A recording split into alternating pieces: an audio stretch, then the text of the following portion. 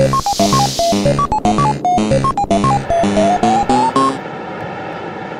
Bielsa resumes his position on the water cooler and scolds himself with the coffee that he placed down there before him.